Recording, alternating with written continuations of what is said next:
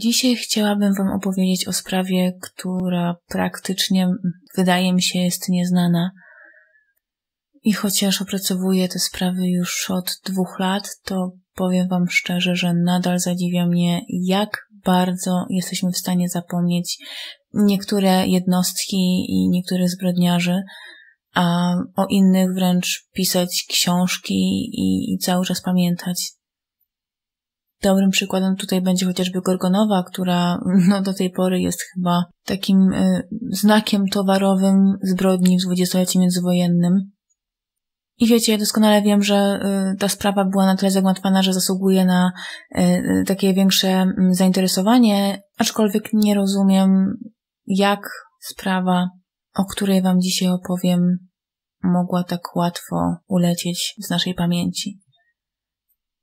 Dziś opowiem Wam historię pary, która nie cofnęła się przed niczym, żeby uzyskać cel, dla której życie nie miało żadnej wartości, a już na pewno miało mniejszą wartość niż pieniądze.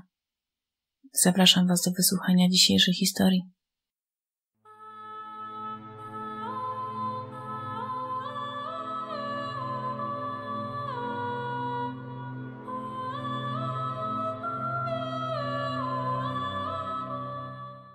W latach 1919-1924 na terenach Rzeczpospolitej doszło do serii brutalnych morderstw na tle rabunkowym.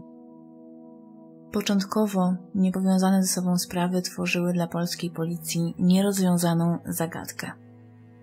Pierwszym zabójstwem, które zwróciło uwagę śledczych, była zbrodnia dokonana 4 września 1921 roku i tutaj trzeba zaznaczyć, że nie była to pierwsza taka zbrodnia, aczkolwiek była to pierwsza sprawa, która rzuciła się bardziej w oczy.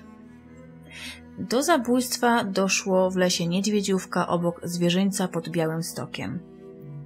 W lesie natrafiono na ciało około 30-letniego mężczyzny, który był ubrany w mundur rosyjski. Za jego lewym uchem odkryto ranę wlotową. Śmierć mężczyzny nastąpiła na skutek uszkodzenia mózgu przez kulę rewolweru. Pomimo usilnych starań, władze policyjne nie były w stanie zidentyfikować mężczyzny. Nikt nie zgłosił zaginięcia z okolicznych miast ani wsi. Sprawa więc pozostała nierozwiązana. Do czasu. W roku 1923 władze Wilna, Białego Stoku, Brześca, Grodna oraz Warszawy postanowiła połączyć wszystkie nierozwiązane sprawy ze swoich terenów oraz przeanalizować zgromadzone dowody oraz fakty. Ustalono, że wszystkie morderstwa najczęściej odbywały się w lesie, a przynajmniej tam odnajdowano ciała. Zazwyczaj przed zaginięciem ofiary widziane były w towarzystwie kobiety oraz mężczyzny. Traf chciał, że właśnie w momencie analizy w Wilnie na kradzieży kieszonkowej została przyłapana niejaka Janina, zwana również Germanidą lub Marią Szykowicz. Kobieta za swój występek została aresztowana. Albo pech, albo szczęście sprawiło, że kierownik ekspozytury śledczej w Wołkowysku znał aresztowaną kobietę. Szykowiczowa uciekła swego czasu z wołkowyskiego więzienia. Janina natychmiast została przetransportowana do Wołkowyska. Tam przystąpiono do dokładnego przesłuchania kobiety.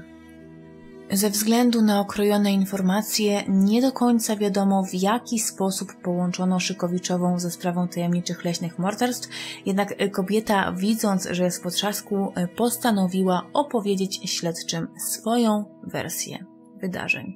I tutaj e, uwaga, ponieważ ta wersja jest naprawdę bardzo interesująca.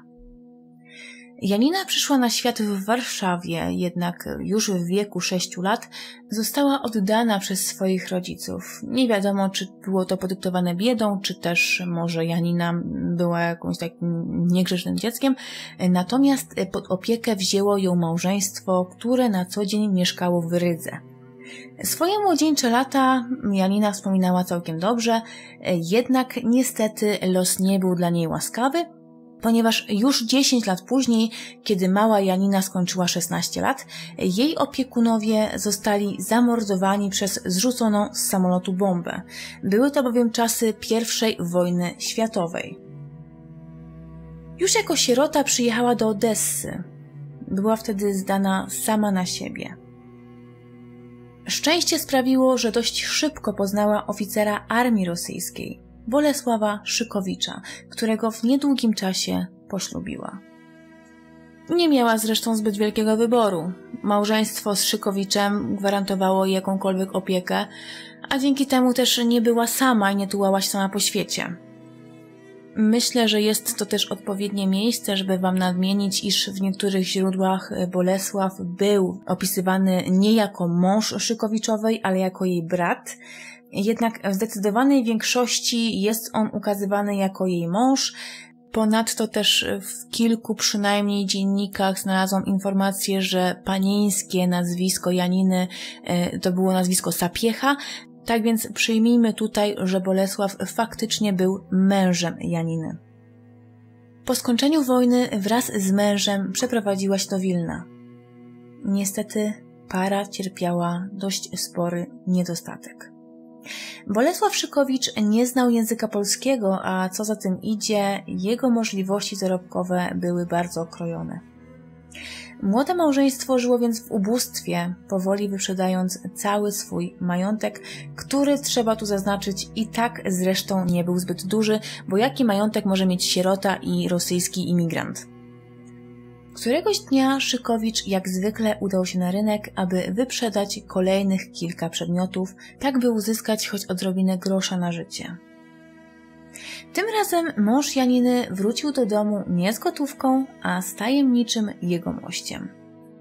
Kompanem Szykowicza był Stanisław Zboński, młody, dosyć przystojny i obrotny mężczyzna. Szybko okazało się, że Zboński w trudnych powojennych czasach zarabia na życie sprzedażą koni. Ale tutaj wcale nie chodziło o to, że Zboński miał stadninę, rozmnażał sobie klacze i efekty tego rozmnożenia sprzedawał na rynku, e, bowiem mężczyzna zwierzynę pozyskiwał w zupełnie inny sposób. Przy pomocy munduru oraz sfałszowanych dokumentów rekwirował chłopom ich klacze, które później sprzedawał na rynku. A jako, że w tamtych czasach konie również musiały posiadać dokumenty, to przed sprzedażą sfałszowaniu ulegały również i one, w sensie te dokumenty, nie konie.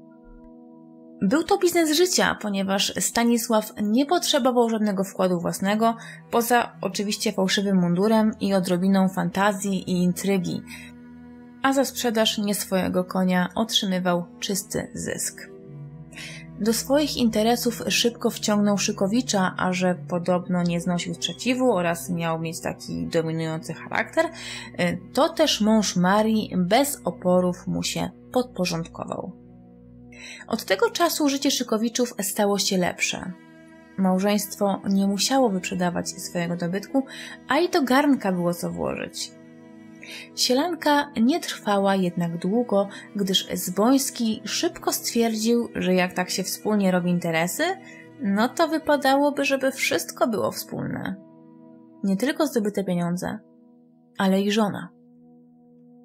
Zaczął więc czynić anonse do Janiny, ale no o dziwo w tym temacie spotkał się z dość sporym sprzeciwem Szykowicza.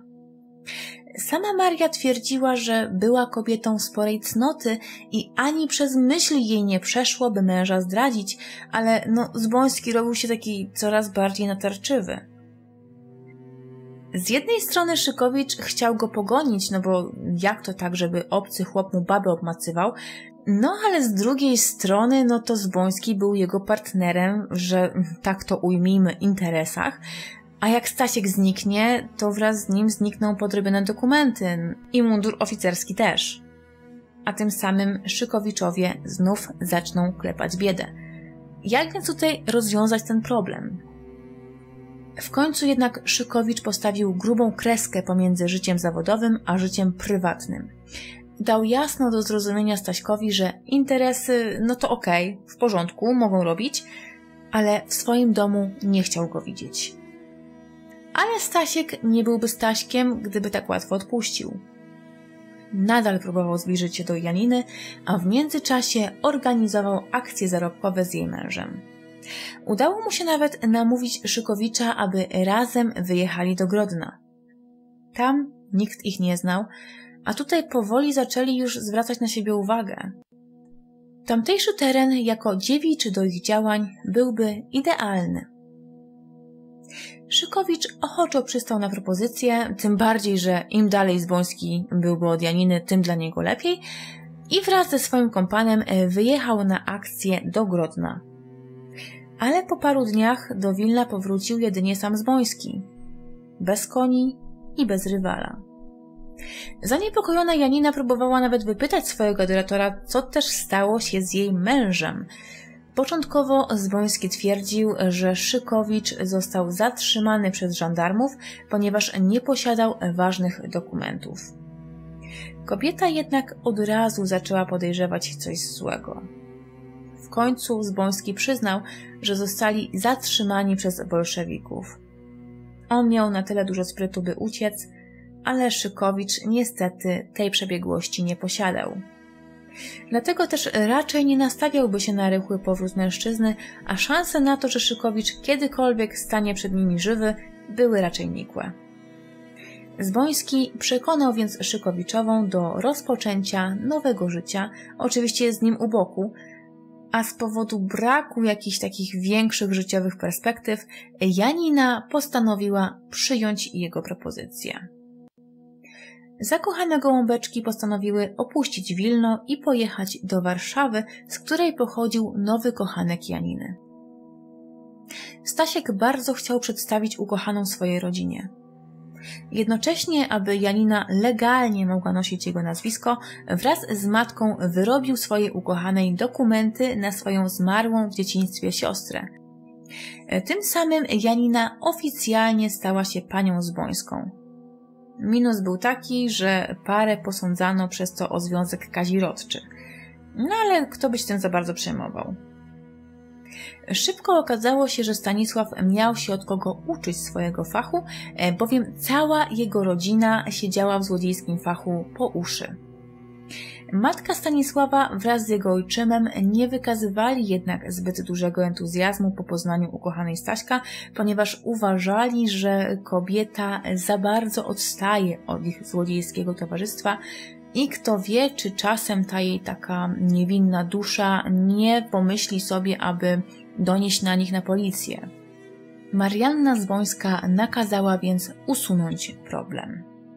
Zboński, zdając sobie świetnie sprawę, że nagła śmierć młodej i zdrowej kobiety zapewne przyciągnie zainteresowanie policji, postanowił pójść okrężną drogą. Stwierdził, że codzienny łomot sprawi, że Janina podupadnie na zdrowiu, a tym samym słabnąc z dnia na dzień, łatwiej wytłumaczy się przed sąsiadami jej nagły zgon. W odczuciu Staśka plan był dobry, w odczuciu jego matki zbyt głośny. Krzyki Janiny zwracały uwagę sąsiadów, a przecież rodzina Zbońskich miała się trzymać na uboczu. Stara Zbońska zadecydowała, że trzeba sięgnąć po bardziej skuteczne środki. Do kotleta swojej synowej dosypała bliżej nieokreślonej trucizny, przez co Janina dostała rozstrojów żołądka. Wezwany na miejsce lekarz zalecił gorące okłady na brzuch. Zadanie to przypadło czyhającej na życie Jasi teściowej, ponieważ Stasiek dobitnie dał swojej rodzicielce do zrozumienia, że no okej, okay, łomot łomotem, ale trucia swojej żony to on nie chce widzieć. Wtedy to miało dojść do wzruszającej sceny, kiedy to stara zbońska, rozpinając koszulę synowej, zauważyła medalik, w którym ukryte było zdjęcie małej, sześcioletniej dziewczynki. Wtedy to Zbońska miała zdać sobie sprawę, że właśnie o to próbowała otruć swoje własne dziecko, które wiele lat wcześniej, wiedziona biedą, oddała na wychowanie obcej rodzinie. Tym samym okazało się, że Janina w rzeczywistości jest córką starszej Zbońskiej, a jej kochanek Stasiek jej rodzonym bratem. Szykowiczowa Welzbońska zeznała również, że jej mężo-brat Stanisław Zboński przebywa obecnie w więzieniu w Wołkowysku, gdzie został aresztowany pod zarzutem zabójstwa chłopa oraz zrabowania jego konia. W rzeczywistości tak naprawdę Zboński został aresztowany za jakąś drobną kradzież, ale nie wdawajmy się tutaj w takie małe detale.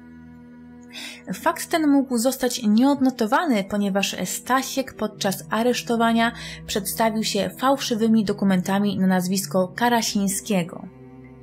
Trzeba tutaj przyznać, że ta historia brzmi nieco jak jakiś tani melodramat i faktycznie z rzeczywistością miała raczej niewiele wspólnego.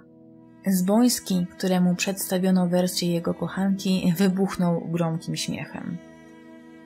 Po chwili stwierdził oburzony, że to wszystko nic innego jak łgarstwa.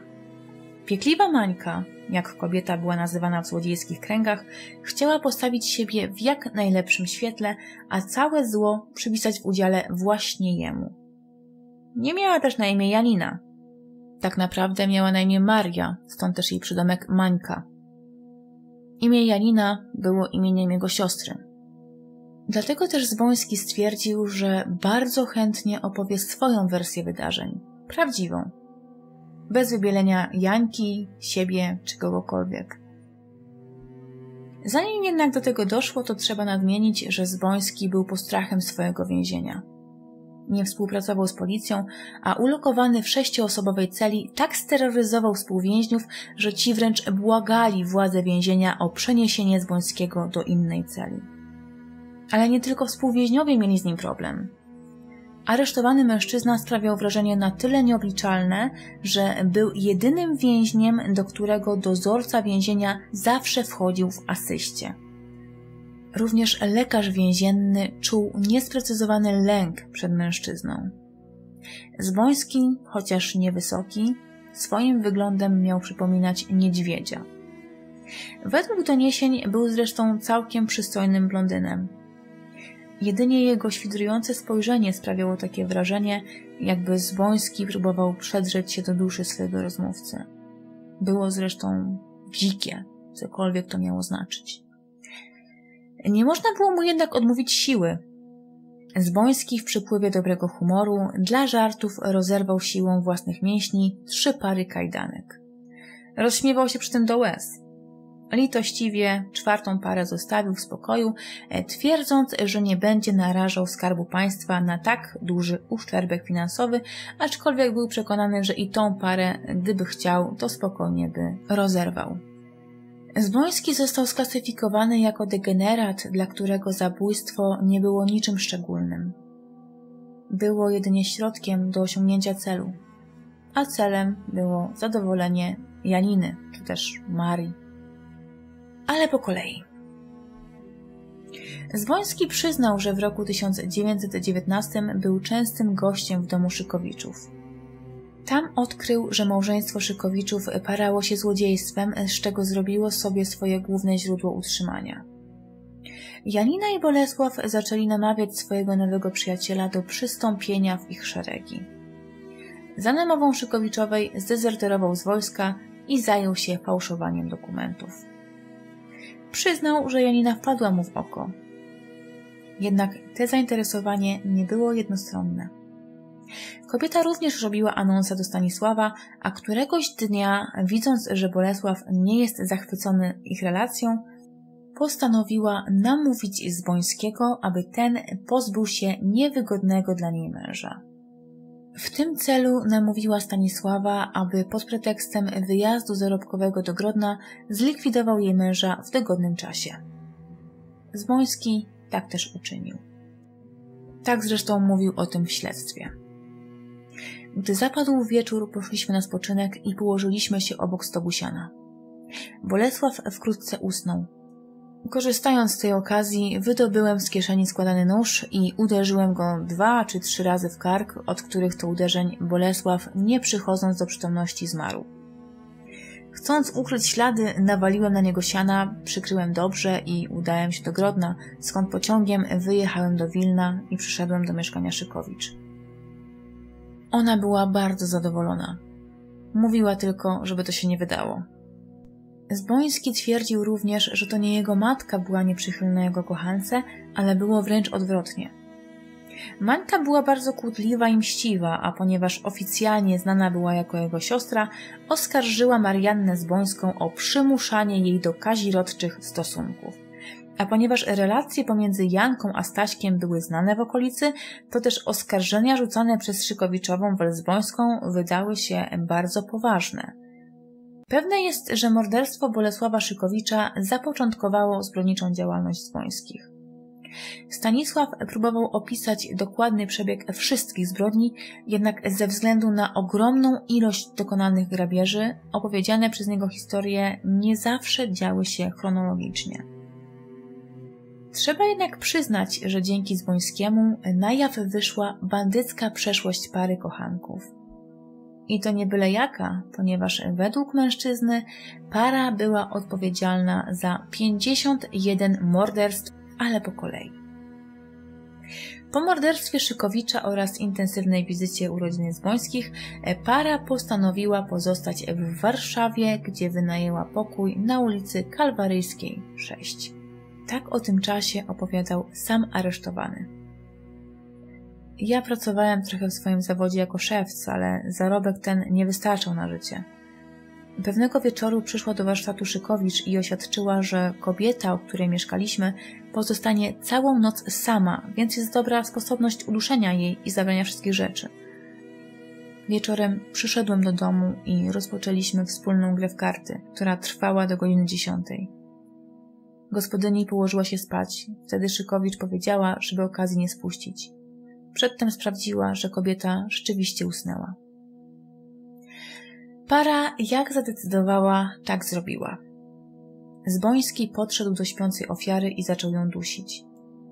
Nie przewidział jedynie, że gospodyni przebudzona ze snu zacznie z nim walczyć. Aby zadusić jej krzyki, Zboński jedną ręką trzymał kobietę za szyję, a drugą wepchnął kobiecie do twardej buzi. Kobieta, która zaciekle walczyła o swoje życie, pokąsała agresora. Janina, widząc, że jej kochanek ma problem, natychmiast doskoczyła do szamocących się i własnoręcznie udusiła kobietę. Po wszystkim para schowała ciało do skrzyni i dla niepoznaki przykryła artykułami spożywczymi. Niestety zbońscy srogo się rozczarowali. Początkowo zakładali, że w mieszkaniu uda im się znaleźć sporą sumę pieniędzy. Niestety, pomimo splądrowania całego mieszkania, nie natrafiono na żadne ślady gotówki. Kochankowie zadowolili się więc sprzętami codziennego użytku, których część sprzedano, a część zachowano dla siebie. Wychodząc z mieszkania, para zamknęła je na klucz, który później wyrzuciła po drodze. Co się działo dalej, nie wiadomo. Zbrodnia uszła im jednak płazem. Utwierdziła parę w przekonaniu, że przy odrobinie sprytu ich działalność pozostanie niewykryta. Niestety był to czas, w którym Zboński zaniemógł. Chory na żółtaczkę został umieszczony w szpitalu. W tym czasie Janina radziła sobie dokonując pomniejszych kradzieży. Ale to wcale nie znaczyło, że czekając na wyzdrowienie swojego kochanka, nie planowała jakiegoś większego skoku. Któregoś dnia, odwiedzając Wąskiego w szpitalu, przyznała, że podczas jego nieobecności nawiązała znajomość z pewnym bogatym poznaniakiem. Mężczyzna miał pracować na Mokotowie jako lotnik i będąc przekonanym, że leżący w szpitalu Stanisław jest jej bratem, starał się o jej rękę. Mańka zapewniła Zbońskiego, że Poznaniak jest idealnym kandydatem na pomnożenie ich majątku. Oczywiście kobiecie tutaj wcale nie chodziło o to, żeby wychodzić za niego za mąż, no bo co to to nie, ale przecież można pozwolić zakochanego młodzika, a później wszystko załatwić według znanych już sobie metod. I tak też zbońscy zrobili.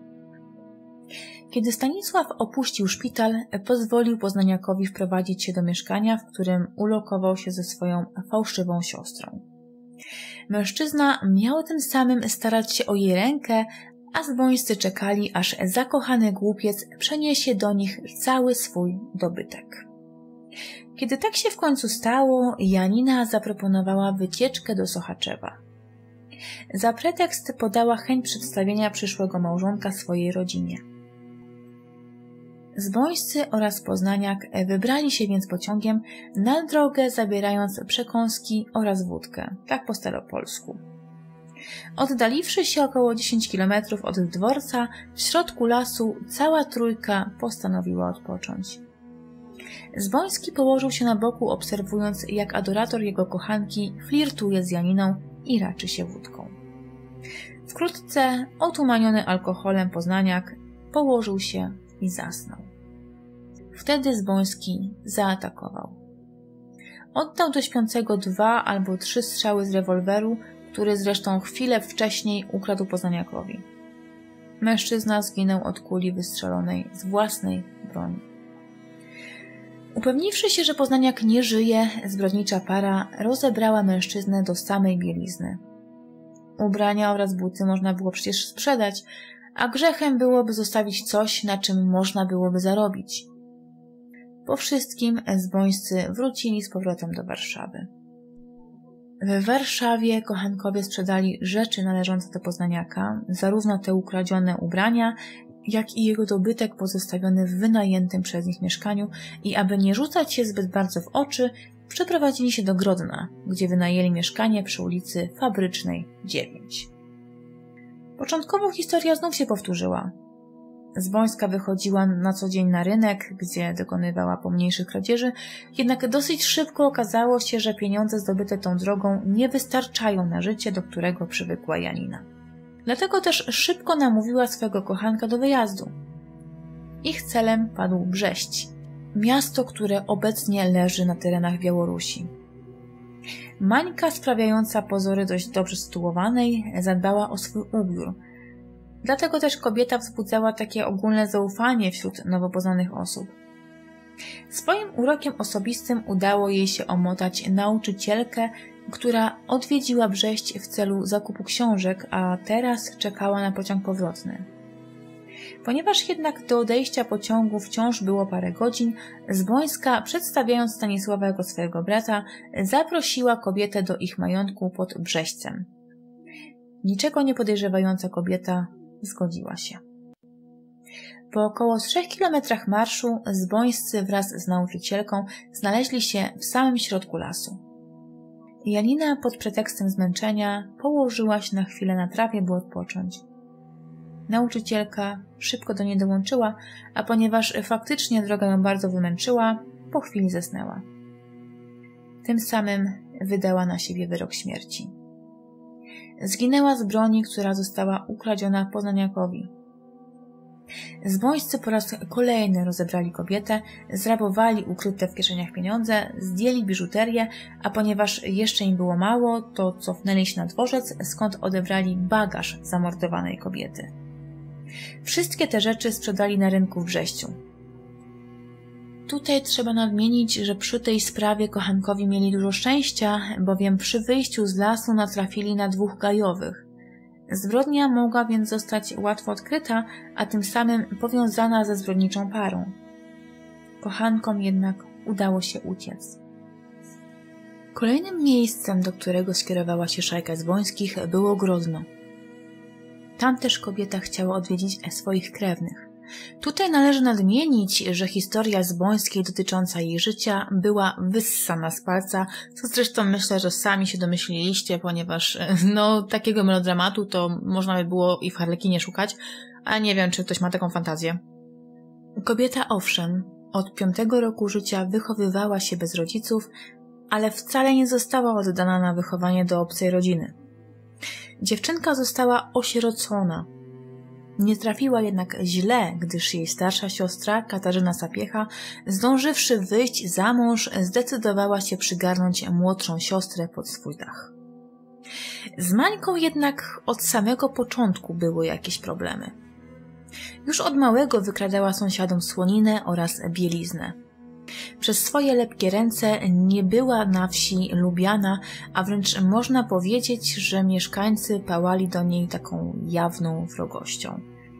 Przyłapana na gorącym uczynku Mańka nie raz i nie dwa dostała porządne lanie. Raz nawet w wyniku jednej utarczki z sąsiadem straciła dwa zęby, więc można sobie wyobrazić, jakiego kalibru to lanie było. W wieku 14 lat Mania zadecydowała, że jest to najwyższy czas, by opuścić dom swojej siostry i wyjechała w świat.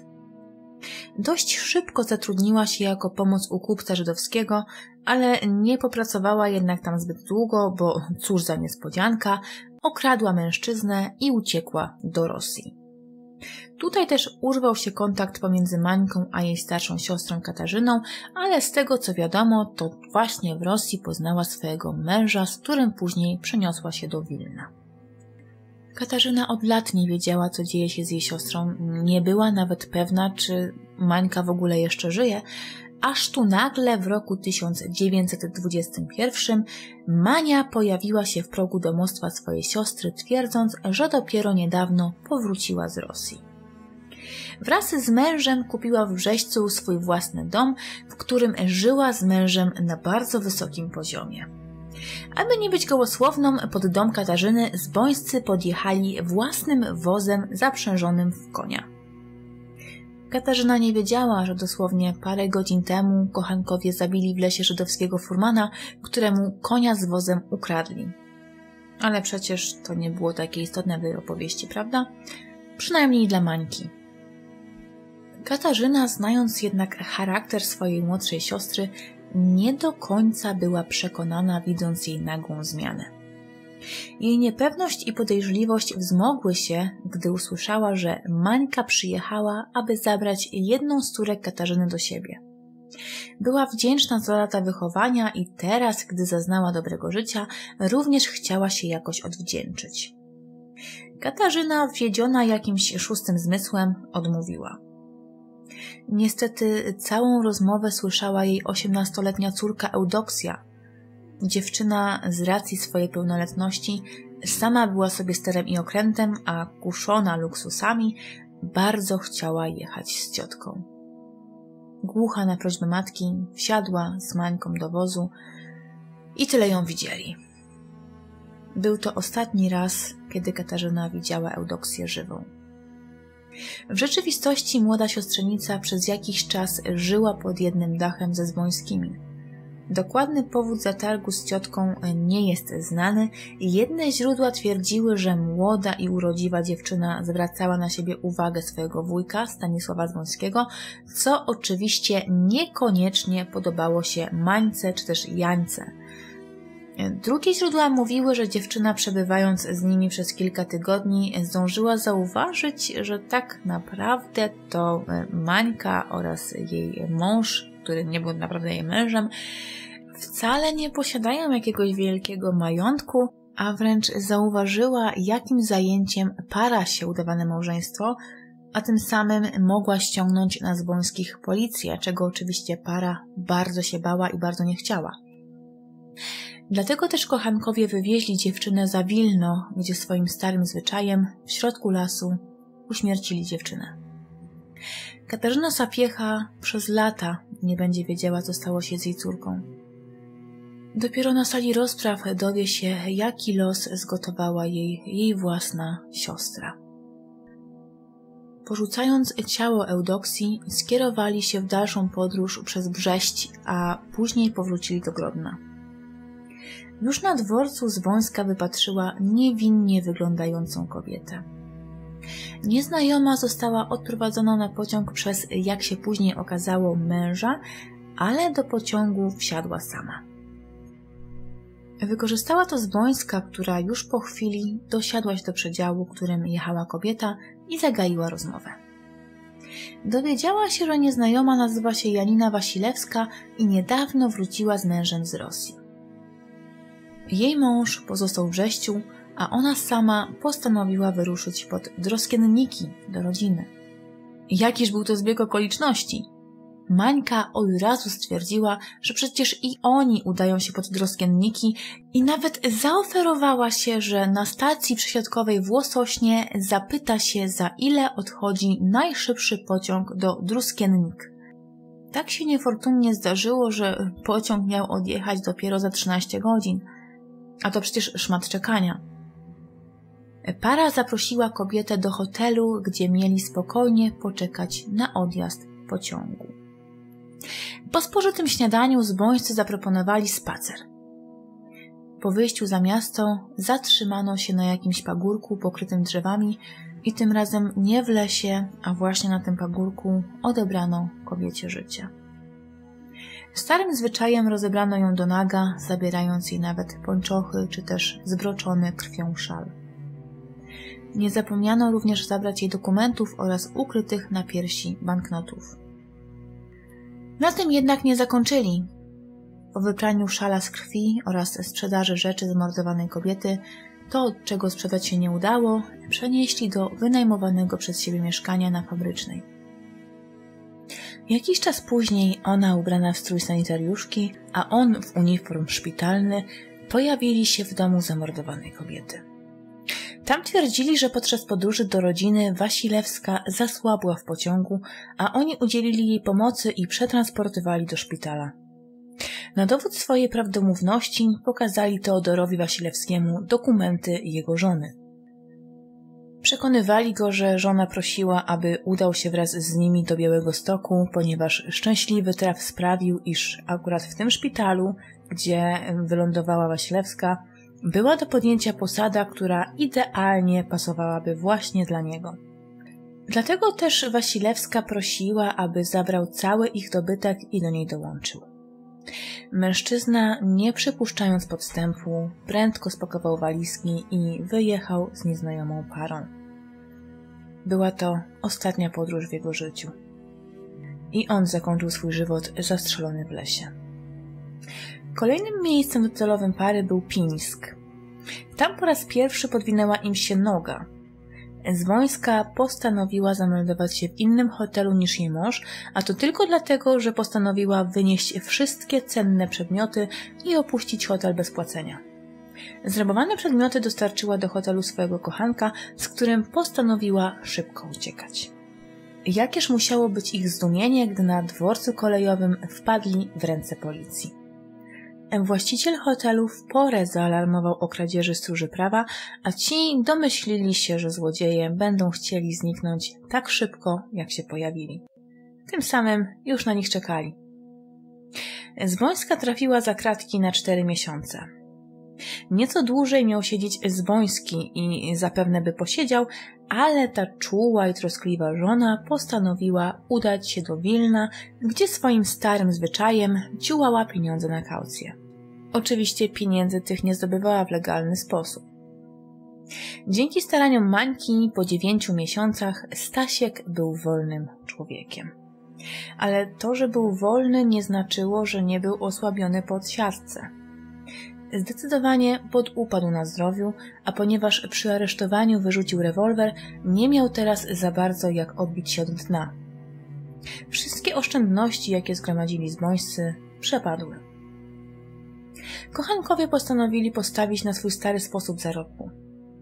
Z powodu braku rewolweru, tym razem Stanisław zaopatrzył się w siekierę. Ale para miała pecha. Pomimo przejścia 15 kilometrów przez las, nie natrafiono na żadną furmankę. Zmęczony i osłabiony Zboński zadecydował, że zawracają. Wtedy to po przejściu 6 kilometrów dogoniły ich sanie. Okazało się, że był to zaprzęg jakiegoś młodego Żyda, który widząc osłabienie pary, zaproponował im podwózkę. Zbojscy gorąco podziękowali mężczyźnie tak, jak to tylko oni potrafili, czyli wbijając mu siekierę w sam środek czaszki. Sanie wraz z koniem sobie przywłaszczyli. Ale i znowu mieli pecha. Kiedy Zbońska weszła do restauracji na ciepłą herbatę, została rozpoznana przez policję jako kobieta, z którą widziano zabitego pod Drohiczynem Furmana. Zbońskiej udało się jednak wyłgać, że gdzież to ona byłaby widziana z jakimś furmanem, przecież dopiero co przyjechała, żeby podjąć pracę na stanowisku nauczycielki i nie wiedzieć czemu policja uwierzyła w jej wersję, która została potwierdzona przez Zbońskiego. Tym samym ptaszki znów uciekły. Zbońscy kontynuowali swoje zbrodnicze działania, zwykle mordując furmanów i kradnąc im konie, które potem z zyskiem sprzedawali. I ja wiem tutaj, że y, każde życie jest ważne, ale ze względu na naprawdę dużą powtarzalność tych wszystkich zbrodni, nie chcę Was zanudzać, dlatego też y, nie będę Wam szczegółowo opisywać przebiegu każdej zbrodni. Na szczególną uwagę na pewno zasługuje tutaj morderstwo Antoniny Wróblewskiej, sanitariuszki, która po rozwodzie z mężem e, postanowiła wrócić do Kowla. Jako, że wyglądała na osobę majętną, była wtedy obwieszona dosyć taką sporą ilością biżuterii, to też Zbońska uznała, że jest to idealna kandydatka na ich kolejną ofiarę. Również i ona podstępem została wyprowadzona za miasto, gdzie w lesie zginęła od kuli. Tym razem jednak zbrodnicza para podpaliła jej ciało, aby utrudnić jej identyfikację. Najprawdopodobniej to morderstwo zostało popełnione dużo wcześniej i to właśnie jej zrabowany strój posłużył Zbońskiej, gdy pod przebraniem sanitariuszki próbowała oszukać Teodora Wasilewskiego, e, ale no, według słów Zbońskiego ta historia wydarzyła się dużo później.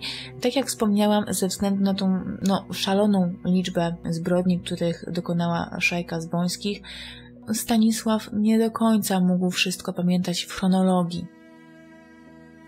Ofiarami szajki padł również inżynier, brat koleżanki z Bońskiej i tutaj para miała naprawdę wielkie szczęście, ponieważ nawet nie byli podejrzanymi w sprawie. W sprawie został zatrzymany jakiś kolega inżyniera, który rzekomo miał pozbyć się swojego konkurenta w ramach zemsty, tak więc zbońscy mogli czym prędzej uciec, wzbogaciwszy się o parę groszy.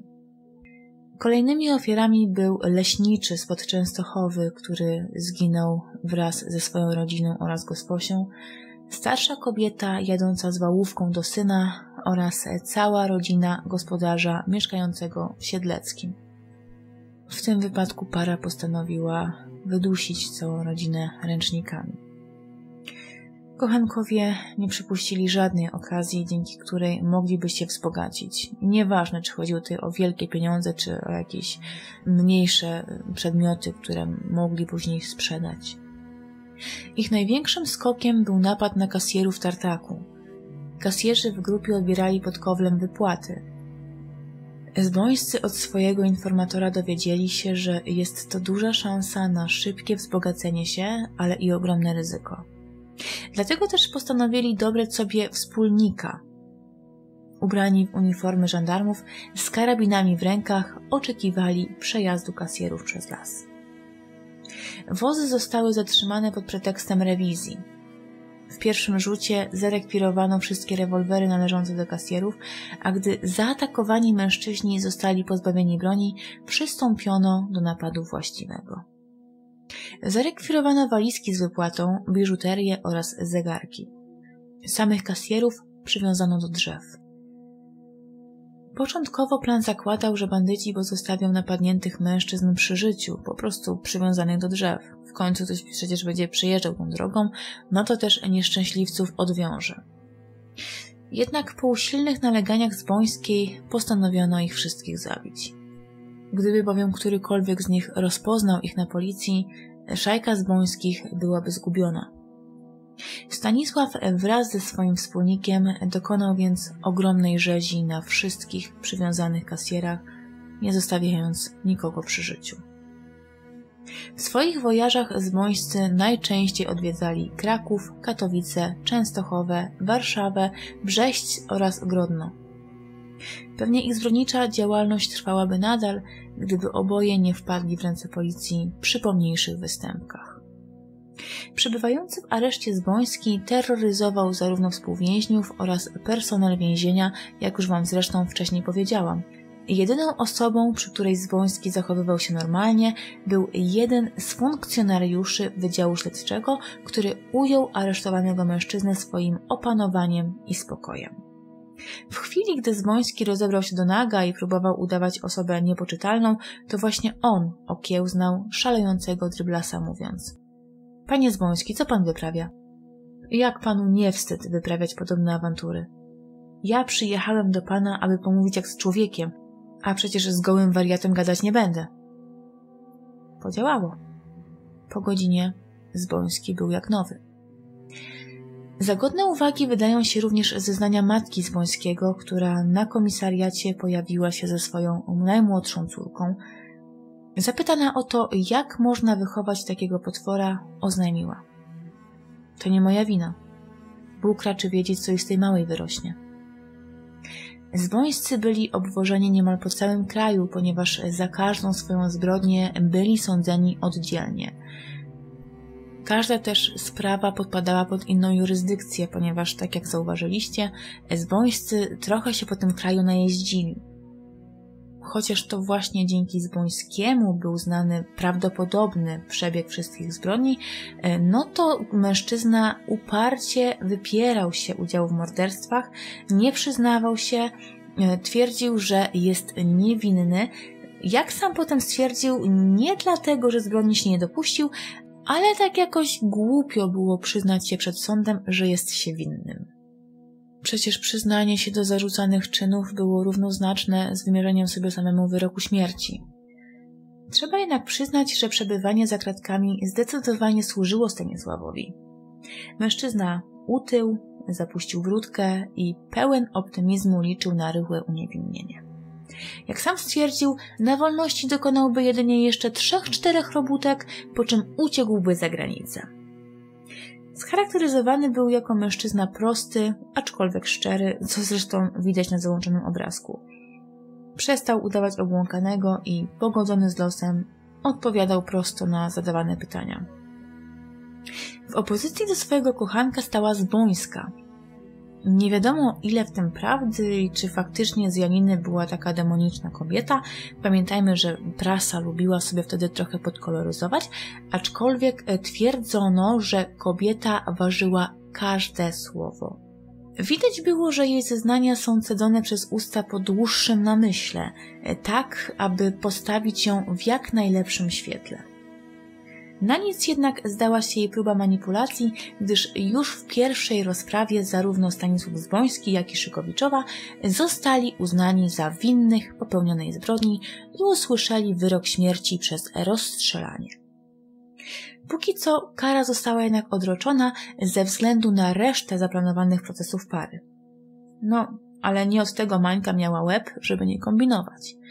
Wiedząc, że jej los jest już przesądzony, postanowiła przy pierwszej możliwej okazji połknąć tłuczone szkło oraz pineski. W szpitalu podczas prześwietlenia zauważono w jej żołądku jakieś twarde przedmioty i zaplanowano operację, ale Mańka kategorycznie operacji odmówiła. Z racji naprawdę ciężkiego stanu zdrowia kobieta została w szpitalu, w którym musiała być hospitalizowana. Mańka, chociaż przeżyła rzekomy zamach samobójczy, wymagała stałej opieki. Po prawie dwóch tygodniach spędzonych w szpitalu, o trzeciej w nocy Zbońska zażądała od posługaczki podania sobie basenu. Aby zapewnić kobiecie odrobinę prywatności, zarówno posługaczka, jak i pilnujący Zbońskiej funkcjonariusz wyszli na moment z sali. Ta chwila wystarczyła zdeterminowanej kobiecie. Zbońska w okamgnieniu wyskoczyła przez okno, gdzie miała czekać na nią dorożka. Policjant, odkrywszy prawdę, czym prędzej zawiadomił o sytuacji najbliższy komisariat, a sam udał się na poszukiwanie uciekinierki. Ślady doprowadziły go do traktu kolejowego. Tam, o godzinie piątej nad ranem, spotkał kobietę, która szła pod rękę z mężczyzną, e, prawdopodobnie swoim mężem, do kościoła i właśnie od pary dowiedział się, że dosłownie chwilę wcześniej minęli oni jakąś kobietę. Posterunkowy przyspieszył.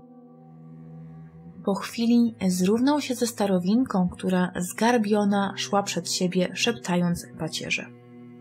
Posterunkowy już miał ją wyminąć, kiedy kobieta wydała mu się jakaś taka podejrzana. Po przeszukaniu kobieciny posterunkowy odkrył ukrytą bieliznę szpitalną. Tym samym jasnym stało się, że właśnie stał oko w oko z przebiegłą Mańką. Kobieta, widząc, że jej plan został odkryty, rzekła jedynie: Poznałeś mnie pan, to prowadź do więzienia. Nie była to też ostatnia próba ucieczki, jakiej podjęła się z wojska. Była ona jednak jedyną udaną próbą. Połknięte przedmioty, co prawda, pomogły Zbońskiej uciec, No, na chwilę, bo na chwilę, no ale te dwie godziny sobie kobieta tam poskakała po trawce, ale też spowodowały szereg konsekwencji zdrowotnych. Zwońska podupadła na zdrowiu tak bardzo, że na kolejne rozprawy sądowe musiała być wnoszona na noszach. Nigdy już nie odzyskała pełnej władzy nad swoim ciałem. Nad zbrodniczą parą zawisło widmo śmierci. Stanisław Zboński wiedział, że jego ostatnią szansą jest sąd apelacyjny. Niestety, sąd apelacyjny odrzucił jego skargę, a wyrok został wykonany 28 maja 1925 roku w Wilnie. Swoich sił próbowała również jego kochanka, która tak oto pisała w skardze apelacyjnej. Byłam tylko bierną towarzyszką zbrodni Zbońskiego. Zostałam opętana miłością ku niemu, ślepą na wszystko. Dopiero po jego śmierci, gdy uspokoiły się moje zmysły, zrozumiałam, jak strasznie ciemną jest moja młodość i przeszłość, jak nisko upadłam. Nie lękam się śmierci, lecz pragnę żyć, bo stałam się pokutnicą i postanowiłam odpokutować za moje winy. Zwońska próbowała przekonać wszystkich, że to jej mąż był degeneratem uzależnionym od zbrodni. Na dowód swoich słów miała nawet pokazać swoje blizny, z których Zboński miał wypijać jej krew. Śledczy przyznali, że kobieta faktycznie miała na ciele jakieś takie ślady, jakby po, po ugryzieniach, no ale kurczę, znając fantazję kobiety, no to nikt by nie był zdziwiony, gdyby sama sobie wyrządziła krzywdę tylko po to, żeby mieć kolejny pretekst do udowodnienia swojej niewinności i czystości czy też tak naprawdę Zmoński pijał jej krew. No ja śmiem wątpić, no ale taka wersja też się pojawiła, więc e, podaję ją do waszej wiadomości. Skarga Zbońskiej, o dziwo, oczywiście została odrzucona. Po odrzuceniu skargi e, kobieta próbowała skruszyć serca Sądu Najwyższego i rzeczywiście Tutaj odniosłam mały sukces, ponieważ Sąd Najwyższy cofnął sprawę do ponownego rozpatrzenia przez sąd apelacyjny, jednak radość kobiety nie trwała zbyt długo. Cofnięcie sprawy nie miało nic wspólnego z litością, jaką sąd postanowił jej okazać, a okazało się, że podczas ostatniego procesu nie zostało dopełnionych kilka istotnych formalności, dlatego też Sąd Najwyższy chciał, aby sąd apelacyjny rozpatrzył sprawę raz jeszcze i dopilnował wszystkich tych formalności. Tak więc y, wyrok na kobietę raczej był już przesądzony. Ostatecznie sąd apelacyjny w Suwałkach uznał, że Janina Zbońska była osobnikiem niebezpiecznym dla społeczeństwa, dla którego popełnienie morderstwa było niczym innym jak środkiem do realizacji jej planu. Oskarżona ponownie została skazana na śmierć, jednak tym razem została zmieniona metoda jej uśmiercenia. Janina miała zostać stracona przez powieszenie. Tym samym miała stać się pierwszą kobietą w Polsce, która zostałaby stracona przez kata. Zbrodniarka próbowała jeszcze kilkukrotnie odwoływać się od wyroku, jednak za każdym razem bezskutecznie. Ludność nie mogła się wręcz doczekać stracenia zbrodniarki. Trzeba przyznać, że postać Zwońskiej naprawdę była nietypowa w oczekiwaniu na termin wykonania wyroku do redakcji jednego z dzienników przyszedł taki oto list. Czytałem w gazecie waszej z dnia 29 października o tym, iż w najbliższym czasie zostanie skazana w Warszawie bandytka Janina Zbońska. Pisze do was ojciec, u którego zginął przez jej ręce syn dziewiętnastoletni i błaga was o jak najrychłejszą odpowiedź, na kiedy został naznaczony termin, gdyż pragnę być przy straceniu i wtedy możliwie serce moje trochę się uspokoi. Całymi miesiącami objeżdżałem całe kresy, aby znaleźć tych bandytów. Jestem człowiekiem niezamożnym, ale ostatni grosz mój wydaje na to, aby im pomścić. Niejedne sto kilometrów chodziłem pieszo, aby ich znaleźć aż nareszcie jeden, to jest mąż z Bońskiej, już dostał swoją karę i teraz przyszła kolej na nią. Błagam was o uwzględnienie mojej prośby i zawiadomienie mnie na kiedy zostanie wyznaczony termin, gdyż chcę przyjechać specjalnie do Warszawy i proponowałbym oddanie mi roli kata.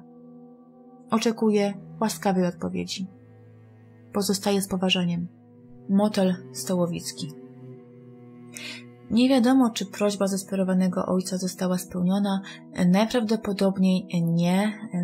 Janina Zbońska, wel Maria Szykowicz, nazywana w swoim środowisku piekliwą mańką, dokonała swojego żywota w lutym 1926 roku. W tej sprawie jest jednak wiele nieścisłości. Nie chciałam Wam za bardzo przerywać w trakcie opowieści, dlatego powiem Wam na samym końcu. Między innymi delikatnie napomknęłam Wam o tym, że mm, Szykowicz, Bolesław Szykowicz, który był uznawany za męża Marii Welianiny, był opisywany czasami jako jej brat. Pojawiła też się taka mm, wersja, w której e, Janina wraz ze Zbońskim najpierw zamordowała swojego męża, a później swojego brata. Jak było w rzeczywistości, nie do końca wiadomo, natomiast ja znalazłam w prasie jeszcze jedną informację, że brat Janiny żył, miał się nawet całkiem dobrze, ponieważ e, za śladem swojej siostry on również za jakiś czas został złapany, ponieważ i on parał się kradzieżami i, i właśnie mm, morderstwami, podobnie jak jego siostra. Niestety więcej na ten temat nie znalazłam. Natomiast nie wydaje mi się, żeby Bolesław był e, jej bratem. Bardziej prawdopodobna wersja mówiła właśnie o tym, iż był to jej mąż, którego Janina poznała w Rosji. Nie do końca było też znane imię Janiny. Z jednej strony kobieta była nazywana Marią, w innych dziennikach można było odnaleźć informację, iż nazywała się ona Germanidą, według jeszcze innych y, Janiną, chociaż najprawdopodobniej imię Janina kobieta przyjęła dopiero w momencie, w którym wyrobiła sobie dokumenty na personalia zmarłej siostry Zwąskiego, ponieważ właśnie ta jego siostra nazywała się Janina i dlatego też oficjalnie Janina została Janiną, choć tak naprawdę wydaje mi się, że nosiła imię Marii. Mógł na to wskazywać chociażby jej przydomek piekliwej mańki, ale no, znając prasę, to też prawda mogła być taka, że, że dziennikarze sami nadali jej taki przydomek. Niestety sprawa nie jest jakoś wybitnie mocno mm, znana. Ja znalazłam na jej temat jedynie jeden, nie no w sumie dwa artykuły, z czego jeden bardzo krótki po angielsku i e, bazujący na niemieckich czasopismach. Ja niestety z niemieckiego jestem noga, więc wybaczcie mi, korzystałam z samych polskich, ale i tutaj ta sprawa była bardzo dobrze opisana. No niestety e, jedyne co to miała wiele nieścisłości, ale chyba nie przełożyły się one jakoś wyjątkowo na odbiór. Myślę, że były to takie detale, które mm, nie są aż tak ważne w tej, tej całej historii. Pojawiały się również y, personalia ofiar zbońskich, natomiast ja bardzo rzadko ich używałam, ponieważ e, tak jak wspomniałam, para zbońskich bardzo często na swoje ofiary wybierała furmanów, i było ich na tyle dużo, że ja nie chciałam ich pomylić. Tam się przewijały właśnie personalia tych furmanów, jednak nie były one zbyt dobrze przypisane do danych historii. Tak więc ja sama y, pominęłam te personalia, ale jeżeli ktoś oczywiście jeszcze ciekawy, to oczywiście wklejam wszystkie źródła. Można sobie spokojnie prasę przewertować i poczytać na własną rękę. Pewnie jak zwykle o czymś zapomniałam wam powiedzieć, ale to już jest taka moja domena, że ja zawsze muszę o czymś zapomnieć albo coś zrobić źle. Mm, tak więc przepraszam, jeżeli sobie o czymś przypomnę, to oczywiście napiszę wam w komentarzu. A ja w tym momencie mm, bardzo Wam dziękuję za wysłuchanie dzisiejszej historii. Przepraszam, że jest ona lekko spóźniona, ale no, mm, miałam trochę intensywny tydzień, powiedzmy. Zapraszam Was na mojego Instagrama, gdzie mm, będzie zamieszczone zdjęcie z Bońskich. W materiale go nie zamieściłam z tego względu, że jest ono naprawdę bardzo słabej jakości i kompletnie prawie nic na nim nie widać. Natomiast jeżeli ktoś byłby ciekawy, jak wyglądała nasza zbrodnicza para, e, no to zapraszam na Instagram. Tam mniej więcej taki zarys będzie można zobaczyć. No cóż, y, ja się z Wami żegnam, lecę nadgonić kolejną sprawę. Tym razem, mam nadzieję, nie będziecie na nią czekać aż tak długo. I no cóż, dziękuję Wam i trzymajcie się ciepło i zdrowo. Do usłyszenia wkrótce.